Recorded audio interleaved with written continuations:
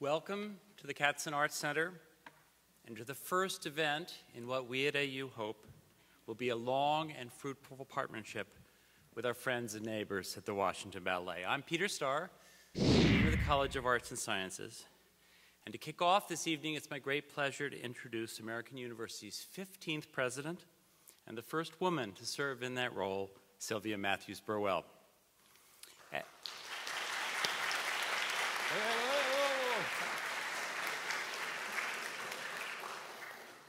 She's eager. As you surely know, President Burwell served as the 22nd Secretary of the U.S. Department of Health and Human Services from 2014 to 2017. In this role, she is widely credited with saving the rollout of the Obama administration's Affordable Care Act. Prior to that, she directed the Office of Management and Budget, served as president of the Walmart Foundation, and spent 11 years at the Bill and Melinda Gates Foundation where she served both as Chief Operating Officer and as President of the Global Development Program. President Burwell earned undergraduate degrees in government from Harvard University and in philosophy, politics, and economics from Oxford, where she was a Rhodes Scholar. It was at Oxford, I gather, that she won first prize in ballroom dance for doing a mean quick step. Sylvia and her husband Stephen are parents of two eagles in waiting, uh, Helene and Matthew. Helene is here, having just come from Nutcracker practice. Please join me in welcoming President Sylvia Matthews Burwell.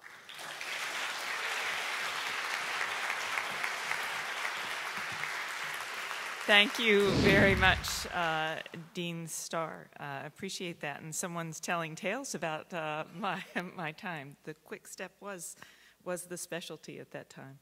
Um, and thanks to all of you all for joining us this evening in our wonderful Katzen Arts Center. We're so fortunate to have this space on our campus. It's a wonderful setting that houses for us the visual arts, the performing arts, and every so often, the artifacts which is an incredible rock band with a lead guitarist who moonlights as the Dean of the College of Arts and Sciences.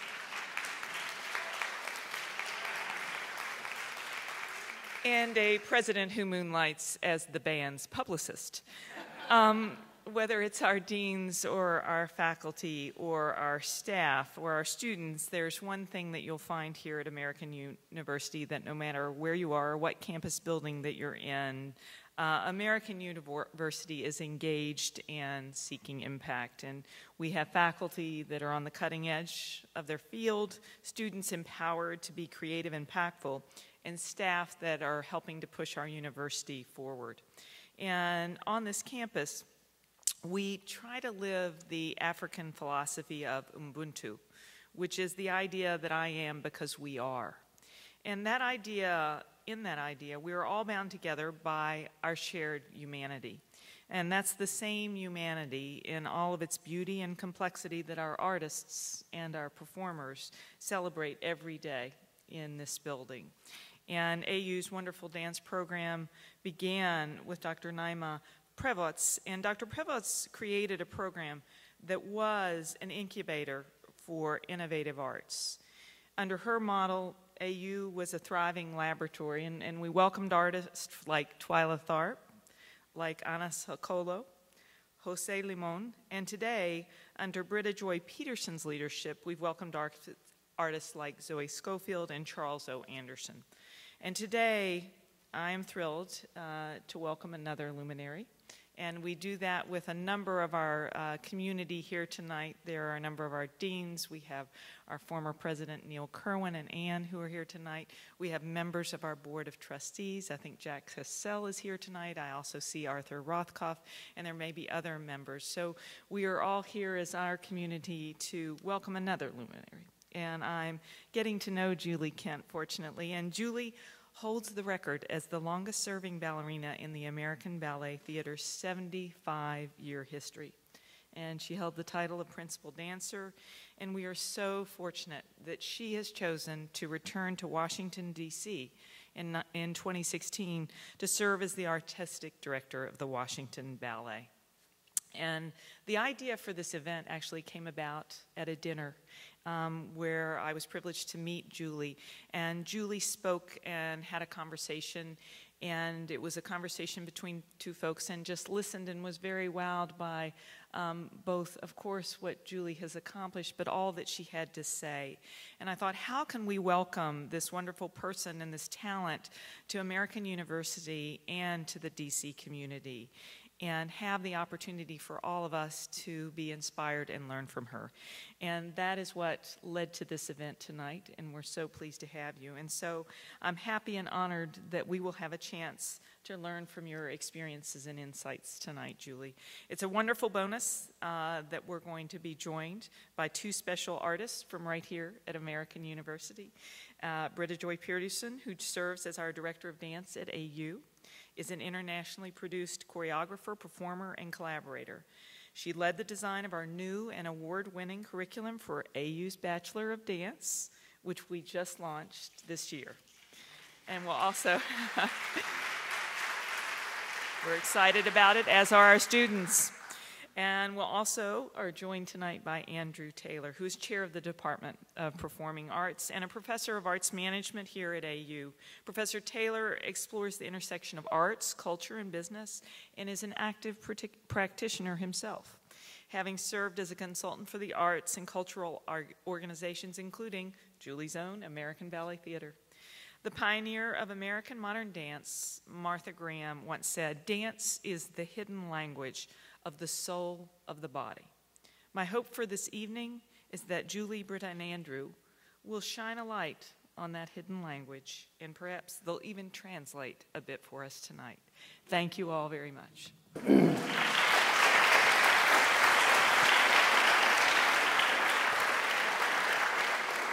Uh, it is a joy to welcome you to the Katzen Arts Center uh, in American University. I'm really excited about this um, conversation to come. We're going to have a little uh, preamble conversation to touch on some issue, um, some reflections on her new role, on her artistic practice from her past, and how those blend together into the next chapter of her professional and creative work here in DC. First, I believe we have a short video to sort of set us up um, in an elegant way. Do we? Roll it. Dance transcends words you can speak in just a different way. I'm a dancer, and I have been pretty much my whole life. I was the longest serving dancer with American Ballet Theater in their 75 year history. And attitude. And I wanted to return to the city where I learned my craft, where I grew up, and contribute to the artistic landscape of our nation's capital. DC is unlike any other city. People are coming to this city to pursue something. They're coming to pursue a career in dance.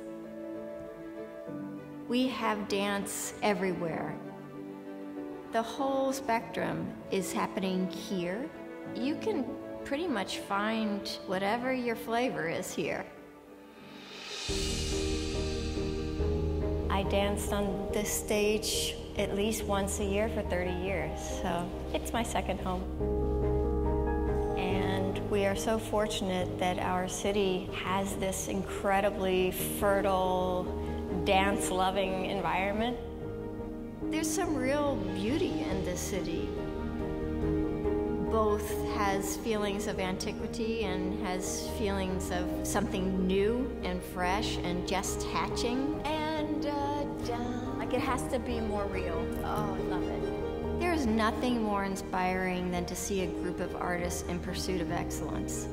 That's what we are doing. We are pursuing excellence in every single way possible. That's what art is supposed to do. It's supposed to inspire that love and interest in others for our community.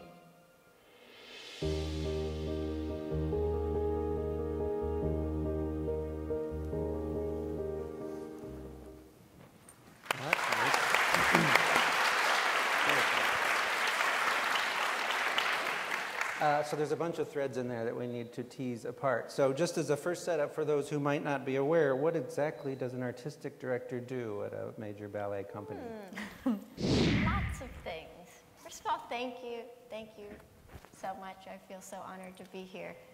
Um, yeah, so role of an artistic director, um, really to steward the institution forward. And I, for me, the most important part of that title is art, because it's the reason why I have that role is my relationship with my art. So how I can use the, uh, my experience and my knowledge and everything that was uh, given to me and learned, uh, how can I share that with the dancers and how can I position the art form itself uh, to make the greatest impact within our community. So, but it's a, it's uh, it, it's a lot of multitasking, but I, I really try to focus on the, the art. Oh, that's great. So, as the artistic director, you program the Washington Ballet Yes. season. Can you tell us a little bit about how you go about that choice making process, like who the choreographers are, classic versus contemporary works, and how you build a season for the Right. ballet? So, uh, at the heart of a ballet company is their repertoire, and it's a very strong indicator of the caliber of the institution, not unlike a museum collection.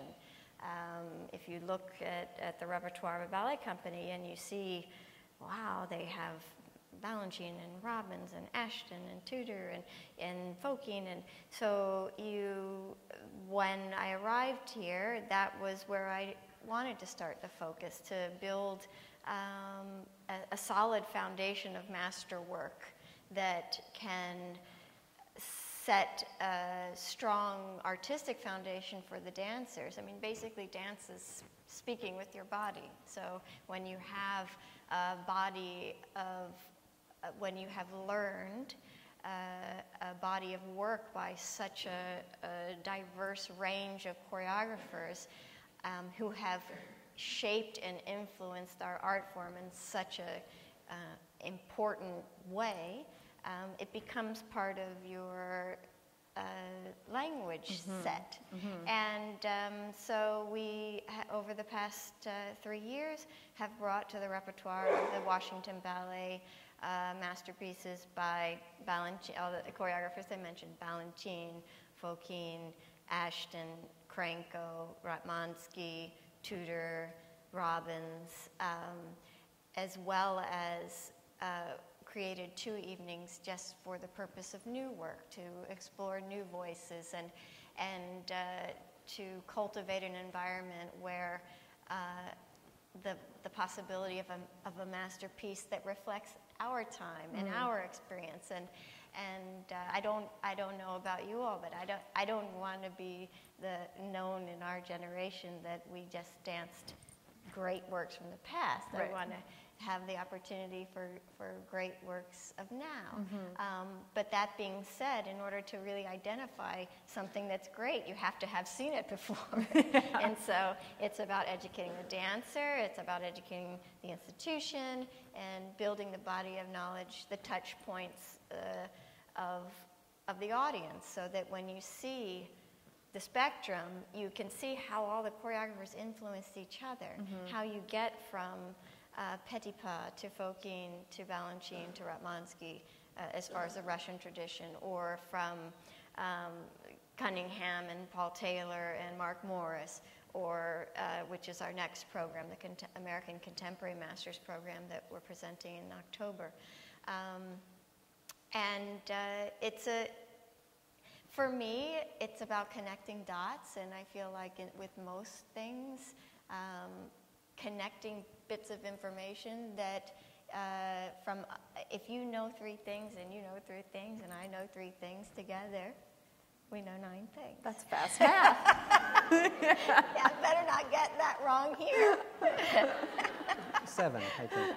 That's right. Um, and I guess just uh, skipping back a little bit, I'm just curious what called you to this place, DC, and this company, and this particular role um, of artistic leadership in uh, Washington, D.C. at Washington Ballet. So, what, what called you to this? Right. Well, um, yes, I, I, in early, let's see, in 2015, I came to the determination that my performing career was coming to an end after 30 years at ABT. And um, I, uh, while it's somewhat romanticized and uh, as a ballerina farewell or retirement, um, what it really is is a working mother um, out of work. and so I was unemployed. I was facing unemployment when I, uh. Uh, I had been working since I was 16 years old, mm. like, but singularly, mm-hmm. the same same doors, right. the same Times Square subway commute, the same people, the same locker. I had the same locker for 30 years. Do, do you know? I think we should. I think it bears saying that Julie joined the ballet at 16. Oh, yes. Okay, so just identifying, you know, think of your 16-year-old self yes. and stepping into the organization that you would spend you know, the next several decades at. Yes. I mean, that, that's incredible, right? It was incredible. I mean, of course, at the time, I didn't know what was ahead. Right, of course, of but, course. Can't um, see the future. It was, it was that. It was all of that, that even just the, the little description we gave, uh, plus the whole coming to terms with the end of your career right. and uh, all of those things. So I took some great advice and I wrote a list about post-performing career goals. Mm. And I, at the top of the list was to share my voice as an American artist, as a dancer, as a woman, as a ballerina, and then to advocate for arts education. Mm. And then below that was to uh, help develop and nurture the next generation of dancers. And then there were other smaller subsets and things, but those were the three sort of big, big items. And I um, was so thrilled to land a job at ABT, uh, just on the fourth floor. So all of the dancing happens on the second and third floor. The fourth floor is the education department, and mm. I was really thrilled with the. I was the artistic director of the summer program, so I had. Uh, again, uh, the great opportunity to share my voice and advocate for arts education and help develop the next generation of dancers. Um, but then uh, a few months into that, very few weeks actually, I, I received a call um, regarding if I had any interest in in uh, in taking the helm of the Washington Ballet, and I really um, was not because I wasn't interested in leaving my life in New York, right. you know, and so uh, my two children very happy in school, and uh, the um, the whole idea of leaving the life after that I know so well for mm-hmm. 30 years was was scary, mm-hmm. um, and over. But they say take the meeting, so I took the meeting. it's good advice. Right? It's, it's good advice. That's what they say. So I did that well, um, and then it progressed, and over a period of, of, of months of reflection, I, I had to answer for myself some important questions. And of course, um, my husband, um, Victor Barbee, who's here tonight, who has been um, not just my husband, but uh, my best friend and my mentor, and my coach, and my boss, and um, uh, was very, very supportive and helpful in, in coming to these uh, decisions. But at the heart of it was um, two, two sort of personal things and, and one really professional thing. And, and the personal aspects were I wanted to be that person that accepts the challenge. Um, because I really wanted to show that example to my children. Mm. Um, I I felt that um, knowing that in few in few years' time they'll come to me and say, "Mom, I have this great opportunity," and I'll be their biggest cheerleader. But if you don't have the courage to to actually take on that challenge yourself, then how can you give advice uh, with real honesty? And so that was pretty. That was a compelling reason. I also I wanted to show their mother in a leadership role. I felt like it was, in, and my husband was just, you know, Julie, it really is a logical next step for you. Um, it's just a matter of time.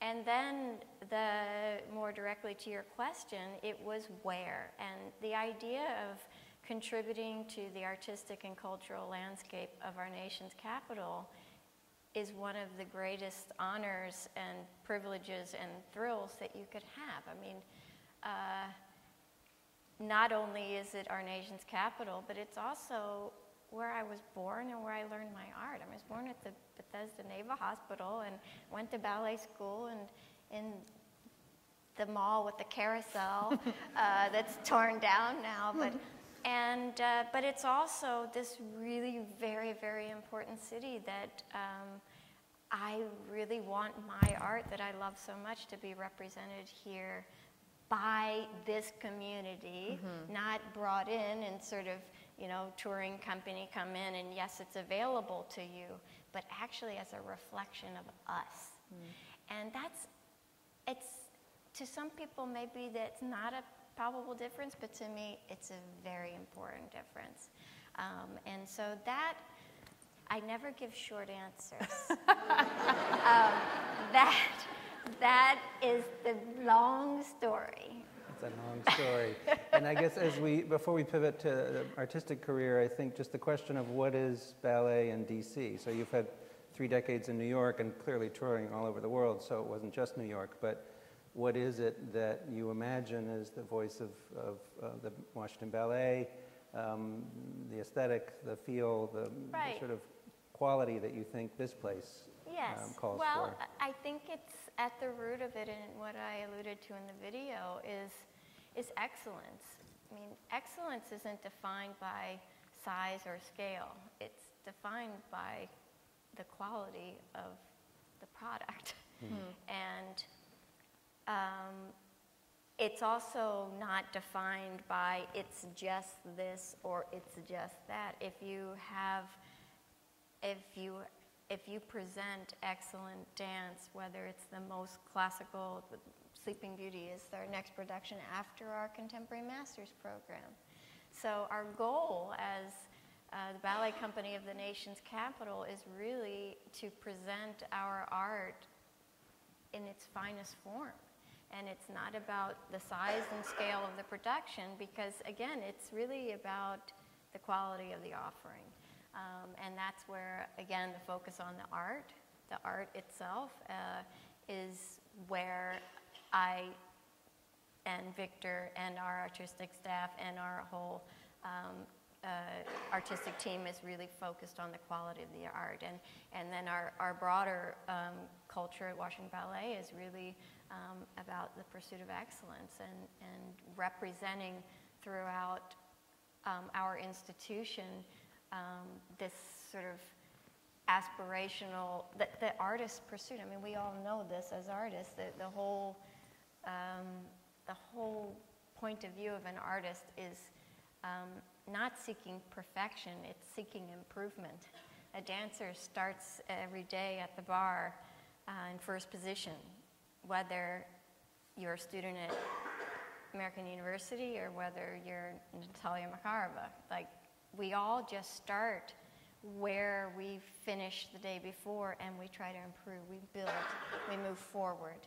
And that kind of, it's very inspiring. It's like the fountain of youth. You know, that's because each day has the potential to be better, the potential to just, you know, the detail, the, the all of those things that uh, differentiate, be, differentiate between good and great is our focus as dancers every day.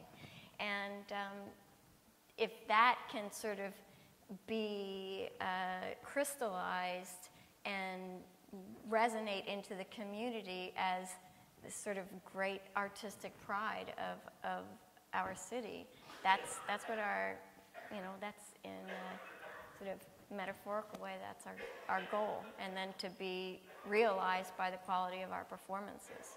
Thank you. Yeah. Lovely. So uh, thinking of excellence, thinking of improvement, um, the pursuit of improvement, I love that. Um, we'd love to hear a little bit about your work as a performer. Mm-hmm. And um, specifically, I'm curious if there's any particular role or process that you felt was really pivotal in your journey as a performer who seeks excellence, right? Is there one that stands out? Well, I had quite a, I mean, A rich career, right? yes, I Yeah, had a yeah, very yeah. rich career, but I think um, very few of us are born great at anything, Mm-hmm, okay? And I'm certainly one of those people. I just had the benefit of a lot of really, really great people that helped me. Mm-hmm. And I was so fortunate to have the opportunity to work with just a- a- an incredibly large spectrum of very talented people who believed in me or saw something in me and wanted to help me. Um, now, that being said, um, especially because we have students in the audience, uh, what my husband always reminds me is that I also inspired that interest in those teachers. And uh, with what I did with the information they gave me. Mm-hmm. So when you're a student, you're not necessarily seeing through the eyes of the person that's helping you because you're so outward focused. focused. But whatever I was able to take what they gave me and put it in, and then something came out that then inspired them to give me more, and I took mm-hmm. more, and then over 30 years I became a ballerina. And mm-hmm. there were, of course, some big bumps in the road, like everyone, you know. Um, and to think that there will never be bumps is, is, is fantasy. Of course, there's bumps. It's just how you get over them. Yeah. You know, everybody's going to have bumps. there's no paver you can push ahead of you. It's how you handle the bumps. And so, to give you a specific example, um, one one moment was when I was making my debut in Manon.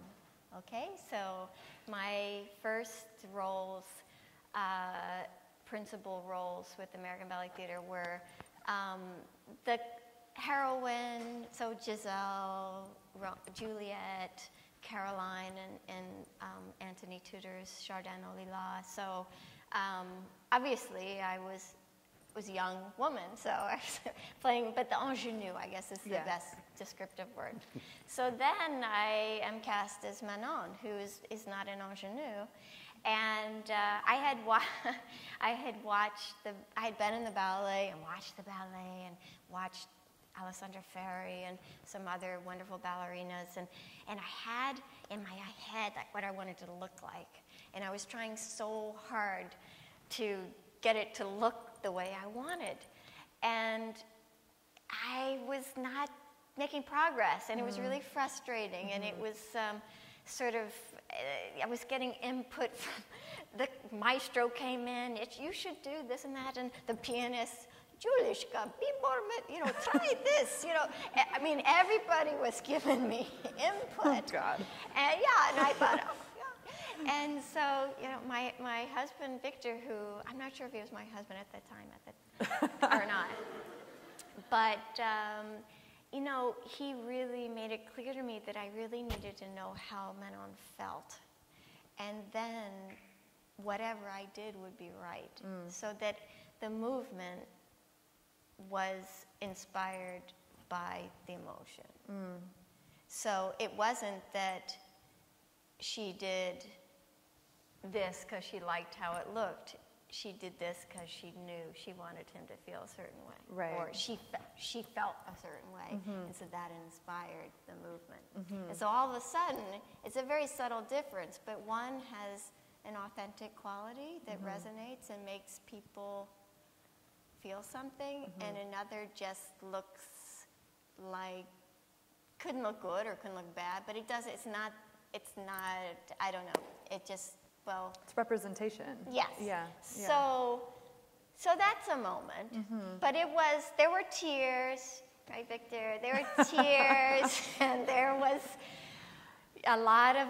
But a great teacher. Just Yeah. break it down. Like let's, as you said, let's detangle the threads. Let's get to scene by scene. What are you feeling here? How are you? What? Do you, how do you get from this scene to that scene? A lot of our work at ABT is narrative. It's storytelling. Mm. And unless you really know how the story unfolds, you can't become a good storyteller. So, you know, th- that's just one example of thousands of, of um, of what, how lucky I was to have that person to help me figure out how to tell a story with authenticity and realness, and then the physic- physicality is inspired and informed by the sensitivity and sensibility of you, you, Yeah. you know. Um, and let's, we're not even going to talk about 32 fouettes. Sure, that's fine. that's fine. that's fine. But there was a lot of help with, you know, getting all of the physicality and getting yourself to where you needed to be to, to just phys- do Physically. physically as Yeah. a, uh, the, the actual technique demands of the technique of our art form. Right, the you athleticism. know, Yeah, I mean, yeah. it's it's how do you, you know, cross the finish line and do, do, push yourself and manage your instrument and Mm-hmm. manage your lifestyle and and not obsess about things instead of working forward. You know, it, it, there's there's just a tremendous amount that was taught, shared with me, and helped, and so that that is just such a huge benefit for our dancers now that I can help them navigate the very very complicated terrain of a dancer, um, and and uh, hopefully at the end of the day leave them with careers that have meant so much to them and that they love so much and that the art form that that gave them this life that they will be inspired to steward it and shepherd it and make it relevant and keep it going as I I am now. So my role now is really just a, it serves as a debt of gratitude to my art form and to those who who helped me to have the career I had. Um, What, what role have you performed the most? Um, I would say either. I would say Ro- Juliet, Swan Lake, and Giselle probably the The big three? top. Yes. Yes. Can you tell us a little bit about the difference between originating a role and then and then stepping into Mm. Right. some someone that you know well, like rat, like stepping into Giselle versus being the originator of Right. a of a piece. Well, they're both incredibly rewarding. Um, I love, I mean, I love being the muse. I mean, Yeah. you know, that's really a very, um, it's a it's a very beautiful and interesting collaboration with the choreographer. It's very different depending on who the choreographer is. Um, but sort of I always think of it, the metaphor and I have in my mind is you, when you walk in the studio, when you're creating a piece, it's just a what big white canvas, and it's just how you put your signature and your footprint and your body in, into it and make it your own. And um, there's great satisfaction in that, especially if the ballet has legs and lives on. Well, Right. So much new work is, you know, is just the benefit is really in the process this, itself. It's not necessarily that it's created and it's going to be lasting and you'll see it over and over. But what the dancers and the choreographer and the audience that supports the experience get out of it is really the heart of uh, how you develop an artist. You know, again, you don't just you're not not just great. You get great by the process and then taking it to the next level. And again, the building that I was referring to before. Now, bringing to life a role that has been danced many, many times or by many different legends um, is also exciting and somewhat daunting because you have big shoes to fill. Um, there's a standard measure. I mean, there's a, there's an expectation. There's an expectation, and so you have to manage that.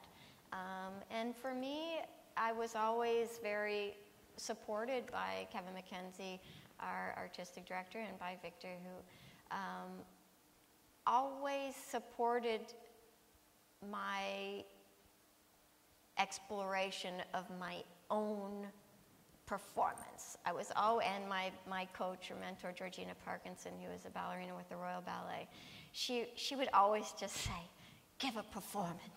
You know, she was like she was so supportive of me just giving my performance, not be more like this or be more that or you know so i what although um, eh, my, I, I in my um, work my portrayals of those great roles were singularly mine you know um, they weren't sort of an impersonation of somebody else's um, and so Yeah, I'm good with of- that. Yeah. some sort of- That's right. So I wonder, I'm just pivoting then to your, your next chapter, your new chapter, this chapter, where you are um, a civic leader, institutional leader, community leader, sort of an animator of uh, both the artistic and the, the cultural life of DC. I'm curious what you bring from your process and your practice uh, into that work. And there's already some great stuff you've given us about we all start in first position. Right, yes. Um, and that it's not about perfection, but about improvement. That's pretty useful. I'm going to use that one. Um, and this idea that movement, um, so much of management and, and community leadership is about behavior mm. and not about intention and emotion mm. before behavior. So it mm-hmm. just strikes me there's a bunch of ways that you might uh, draw upon your creative practice, your creative process in this reaching into the DC community and doing what you do here. I definitely rely on the same methods and approach that have been so much a part of my life as a dancer. Um, knowing how we start here and we have to get there. And you don't just get there because you want to get there, or you get there by, first of all, doing the work to get there. And you do the work, hopefully, in a very linear way, where you build each day forward, going forward, working towards that goal, working, working, working.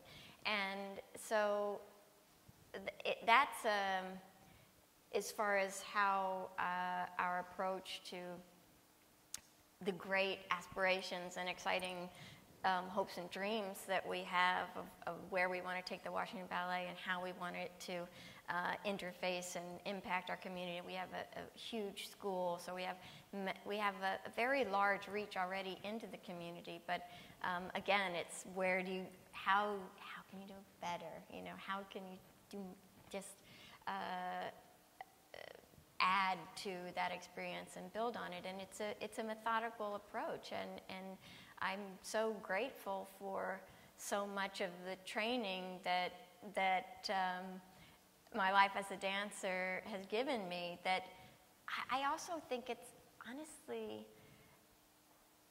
achieving a certain getting to a certain level in any field, I think how you get there is very similar in all different um, fields. And that's what I find fascinating because they look very different and the language is different. I'm always, I'm, this has been an interest, I, I love words and um, I find the, the language of administration fascinating. Me too. Yeah. Cheers to that. Um, but it's I I love it, um, and I but I also realize that it's a it's a way to communicate. You know, it's the it's the specificity of the words and how if you need the message to change, you have to change the words. You can't just use the same language all the time. And so Right. having really good words to articulate what it is that you want in in an administrative setting or um, it's it's very important. In dance, it's it's a different. I mean, we have fondu, dégagé, plié, arabesque, shape your line, your foot, wing. Like we have all kinds of words that uh, people that aren't dancers will be. it sounds, my friend, it's like it sounds like food groups, you know, fondue and frappe, you know. And a trip to Starbucks. Right. Yeah. Yes. Yeah. Um, but uh, so I'm grateful for, for those overlaps, and I always love to discuss with others those similar, the, the parallels. And I mean, clearly there's, there's differences too, but that, you know, art is supposed to, to bring us together. And Yes. So, You know, it's funny from the management side, a bunch of management theory uses artistic language as if, you know, a business is like a theater production, it's like an ensemble, it's like a dance. And I often want to say, have you actually been to a dance company and to said, see what a mess ballet that is? company is like a boardroom. Yes, that's right. it's just, um, just not actually seeing the, uh, the rigor and the depth and the sweat and the work and the, the mess that gets you to that beautiful moment. Uh, and you're all working so hard on the stage, but it looks like you're floating. Um, So I just love how business loves to sort of adapt the metaphor of artistic practice, but doesn't quite get Right. what that means, Yeah. which is more of the things you're talking about is leading with intent and emotion and just getting better and starting in first position and going. So um, we're excited to see how that, that works. And I know we have some, uh, a question around um, advice. Uh, I want you to just be ready because we're going to pivot then to um, questions from you. Um, and we want to spend some time doing that. But So knowing that there's many a student, um, student artists, student performers, student managers, um, student mathematicians, student audio technologists, right? Like we have lots of students present in this space. What is it? What advice would you give to your 18 to young self?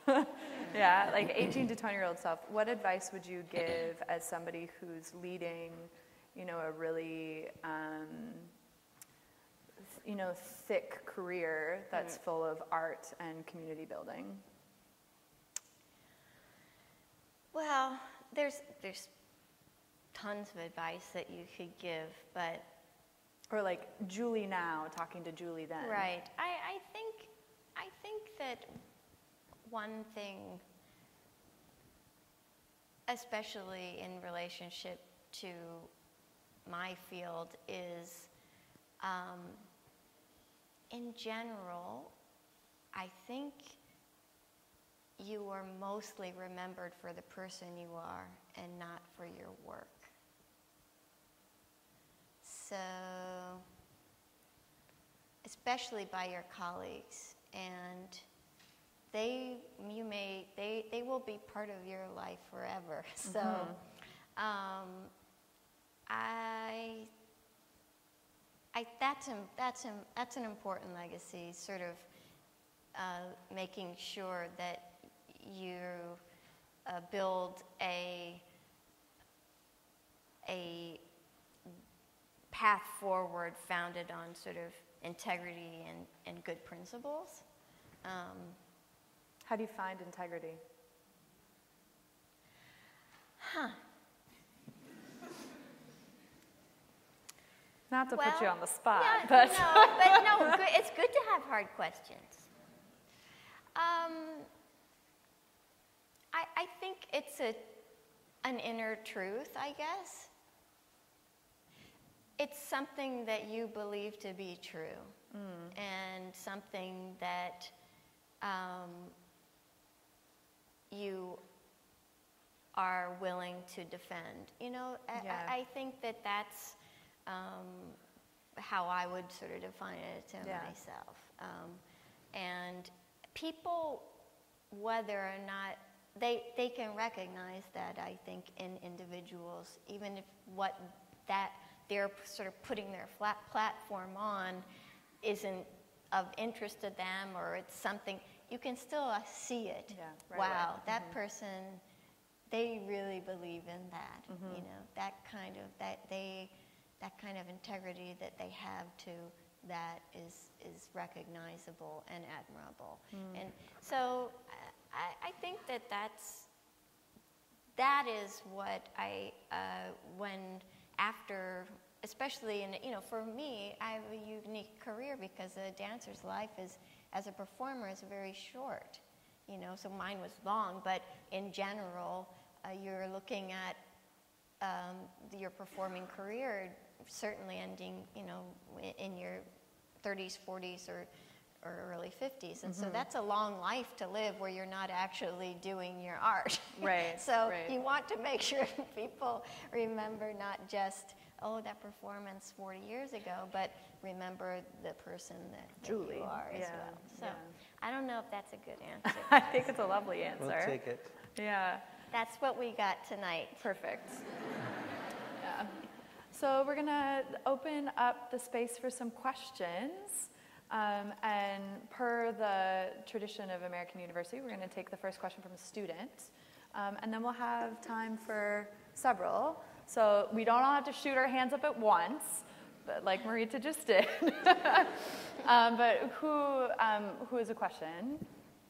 Great, let's start with Marita, because she was very excited. There's, there's microphones we have a coming microphone. so everyone can hear you. And Yeah. adds a little bit more pressure, so this is great. Yeah, Hi. So hold it nice and high. Thanks. Hi. Some people have heard this story, but so I'm not American. I'm actually from Cyprus, which is like a tiny island next to Greece. It's like so small. We have no national ballet company. We have no dance companies whatsoever. And I'm really happy to be here asking you this question because I remember being in my room a couple of years ago watching your YouTube video of your last performance at oh. ABT. And I've I never had seen your performances, but in a way, you and many of your colleagues at ABT taught me ballet. Because I lived in a community where outside the studio, my only resources were literally books and YouTube. So uh, I just I was just wondering, like you and your colleagues and colleagues from other companies as big as ABT, do you ever consider realize that your work doesn't only shape the American dance landscape, but also the international landscape, especially in communities where ballet is something so not integrated and something so foreign? Right. Well, Thanks, Marita. thank you. And uh, thank you for sharing such a special moment in my life with me. um, you know, the, when I started my career, you know, it was the height of the Cold War, and um, you know, Ronald Reagan was president. The internet really wasn't even a, a conception at that point.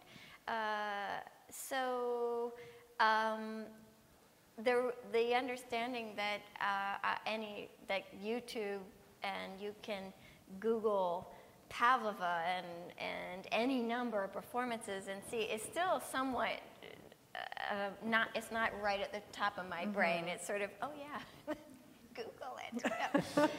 but um, so probably no. I don't think that we are uh, cognizant of, of that appetite uh, in places that don't have the, expo- the ability to go and see right for your and i'm so happy for it. And i'm happy for it for now because in, my role of just researching and um, creating pro- productions uh, where we will be staging our own production of sleeping beauty. It's so fascinating to research on youtube and all of the different productions. You can go back so far. And even hole. if it's just a little excerpt you get a sense of it and it's a fascinating thing. So well i'm, I'm very glad to have inspired you in cyprus thank you We do another student? We should do one more student. Eliza?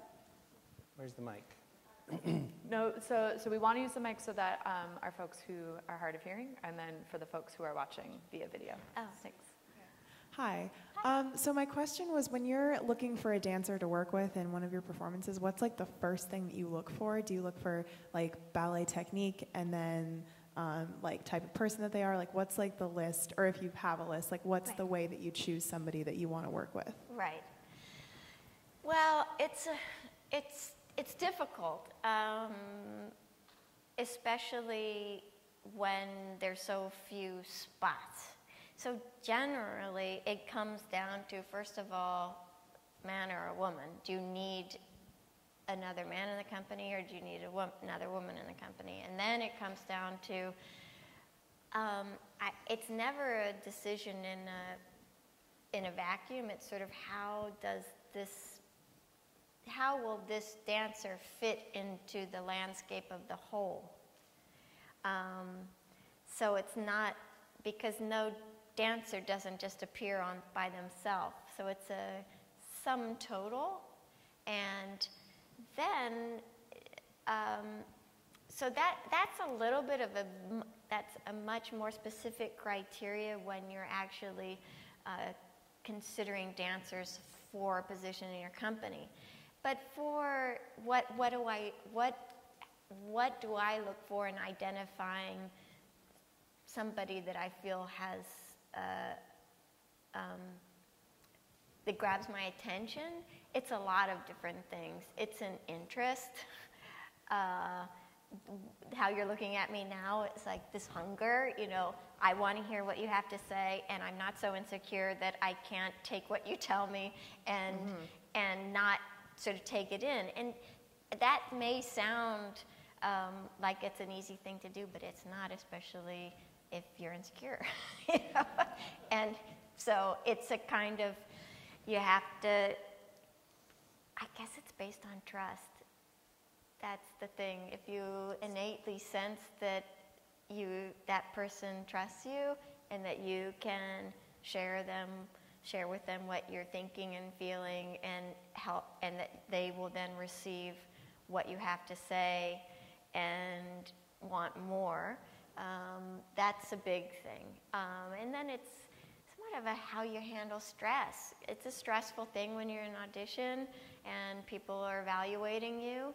And so having an, a confidence in yourself that you can stand up to it um, and maintain a sense of humor or sense of just a sense of it's not a oh it's a life or death. If I don't get this job I'm a, oh you know that's that's not handling the stress well.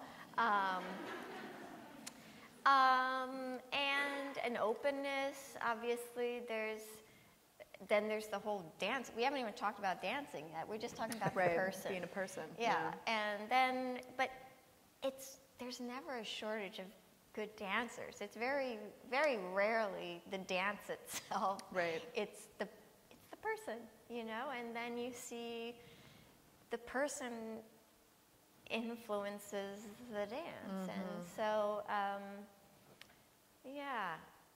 We took uh, the students. We went. We were at the American Univers or the American College Association's conference, and one of the panelists was talking about how dancers have gotten so good. Yes. And, and how we really are at a place in our field where the, the, the dancer is almost a superhero because they are so skilled, which is a really beautiful time to live in.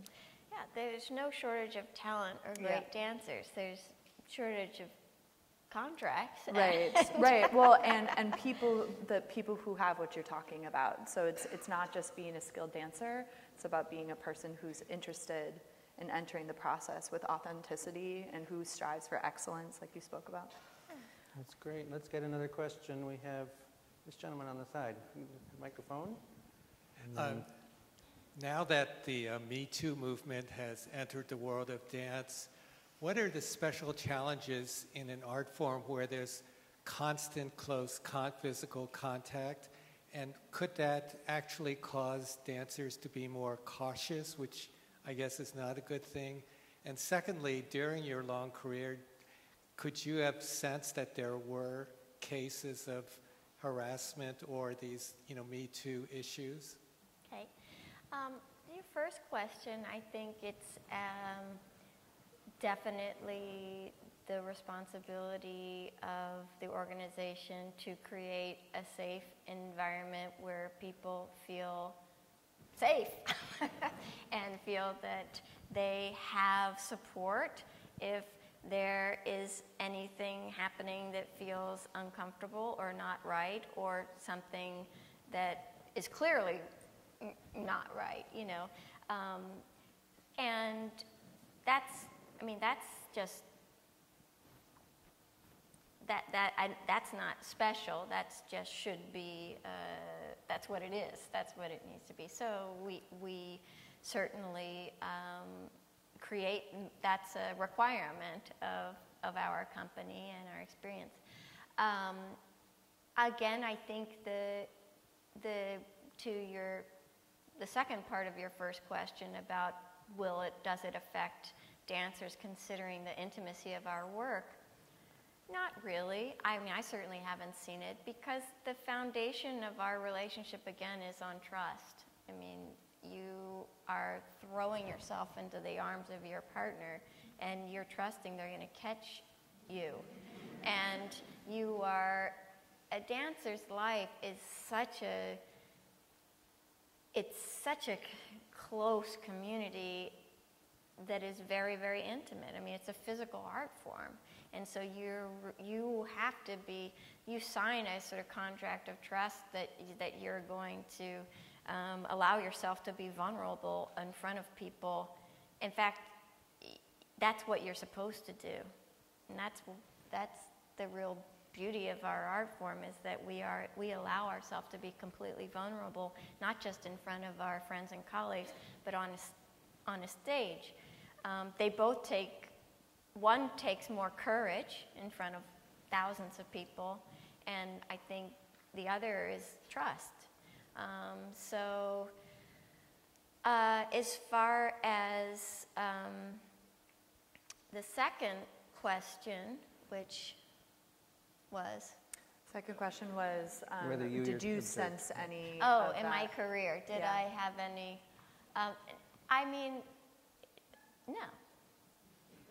I, I, I was never, ever put in a position, um,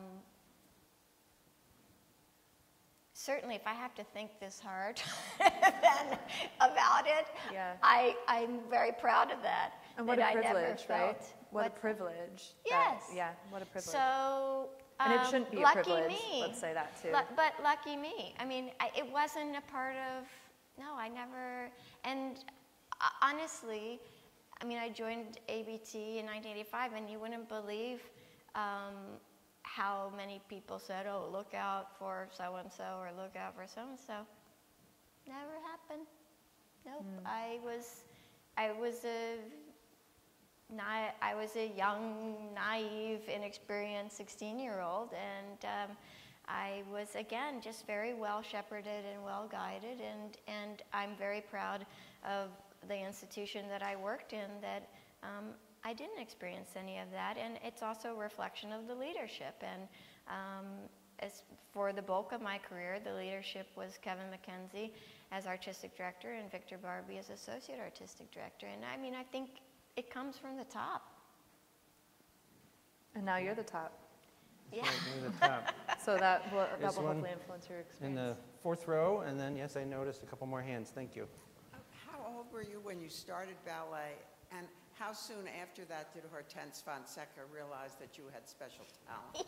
I'm just going to repeat the question. So the question was, how old was Julie when she started, and how quickly did she recognize her skill and talent? my, my teacher, Hortensia Fonseca. Well, I started ballet at Somerset Elementary after school program when I was seven in the cafeteria, and Mrs. Fonseca was my teacher. And then I went to Maryland Youth Ballet twice a week when I was eight years old.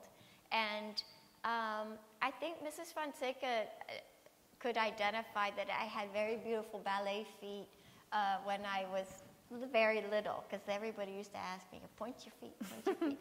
I didn't really know what, I just did, did like that. And they, This is how it was? Yeah, they seemed Okay. to like, they seemed to like the bump on the top Ah, of my yes, foot. And I yes. thought, oh, is that good? I mean, why would you think? Great. You know, it's just that that part of ballet is a little weird, Mm-hmm. but um, that there's this obsession with the foot. But anyway, they seem to like that, Mm-hmm. and um, you know, I wasn't like a child prodigy. I was just um, a child. I love ballet, and I was very. My mother was also a teacher, and so she really guided me and shepherded me very well. Um, and my older sister studied ballet, so it was a family activity. And it wasn't really until I started um, uh, uh, receiving scholarships to summer programs and stipends, and I was winning some competitions, and and then um, you know my mother's like, I think you might have something, and I said, "Ooh, okay. and then yeah, it, but it was a very fast from age 13 to 16 is where really it just kind of all s- went from I don't know what I'm going to do when I grow up to oh, I'm an ABT. Okay. This I guess that's what's happening. That's the trajectory. I, I just want to add, I have some pictures which I couldn't find of when Mrs. Fonseca brought you back to Somerset School to Oh. demonstrate to the other little Oh. kids. Oh, I'd like cool. to I'll see that. If I ever find them, I'll drop them. That's nice. Okay. Perfect. You want to pick another student? Uh, Scout. Hi. Um, so we've touched briefly on um, the vulnerability involved in dance and also the amount of self-discipline that it takes.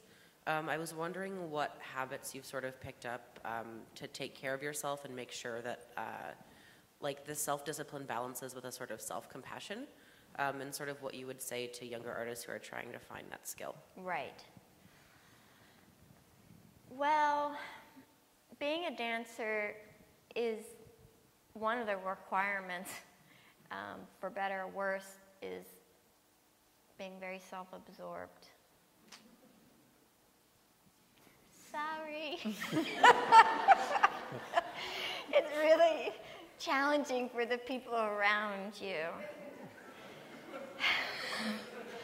However, it's that constant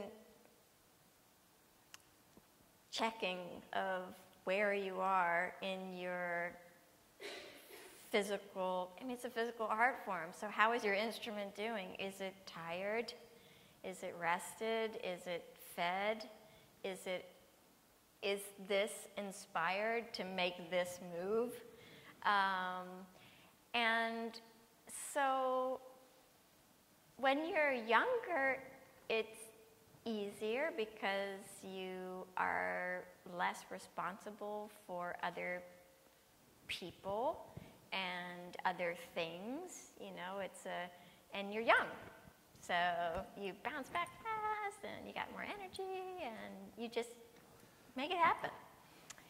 Um, but I think where I really, again, I, I learned so much from my husband who, who guided me and he, his career at ABT was 42 years uh, and still performing um, 42 years on the stage. I mean, it's, it's, it, it's amazing. Uh, what, what he, um, what he contributed and how he managed and then, and then helped manage this ballerina, uh, sort of keep it, keep it moving forward. Um, but one of the things that really did help me, um, more specifically to the, the wonderful words that you used, um, was when I became a mother and I was responsible to taking care of another human and making sure it was well fed and well rested. And then I thought, oh, that's how you should be taking care of yourself. and um, making sure you have eat the rainbow and um, not just the fast. I only have time to have, I'll have a Starbucks or whatever. But, you know, and I thought, oh, you know, so whenever now when I um, give that advice to young people, I'm like, you know, you need to look after yourself as if you were looking after a baby. You know, somebody that you you care so much about that you want to make sure grows up well. And we don't always look at ourselves in that lens, especially um, uh, when you're so focused on something and, and want to get want to get there. So, I I think that's I learned a lot from from that uh, from mother. I mean, I learned so much from motherhood in, in a huge, many, many ways. But as far as taking care of your physical body, I think that really um, helped. Lovely. I think one more. Don't you One think? more. This gentleman here. Get the microphone.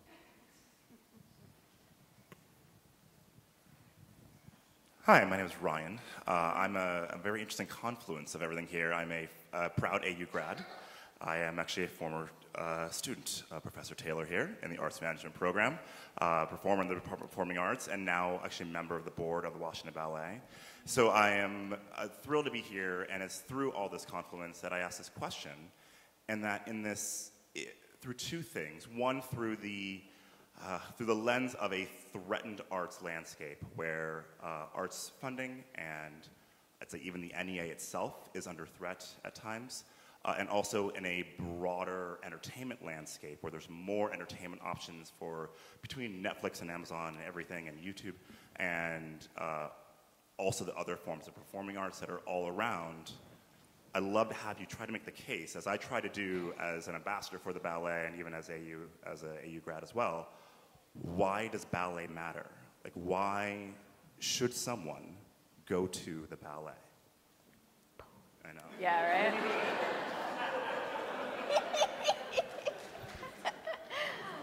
this is a good board member. Um, you are so right, uh, and there is so much entertainment available at our fingertips in a screen, and but there is nothing more moving and beautiful to watch the manifestation of the culmination of years of devotion and discipline and love and time, all culminating in something made just for you, the audience, just to share that with the audience. Um, and then the curtain comes down. And what happens to dancers? They just go back to work. They just go back to the barre and they try to make it even more beautiful the next day. And that, it's so inspiring to think people commit their lives to do that, just to give you that moment in your life where you feel like we're connected just without words. We don't even need to talk. We just need to move. And, and we have the, the beautiful sister of dance music. So we get to just really celebrate what it is to be human in such a very divine and organic primal way, you know? And so you have this beautiful sort of there's something that's just so old and then there's something that's so yeah, the divinity in dance it just is really makes you feel grateful to be human. And so I don't necessarily get that on my iPad, although, you know, I like Netflix too, but I don't, I don't feel the same. And so, um, and uh, yeah. Is that a good enough answer? I think that's a good, yeah.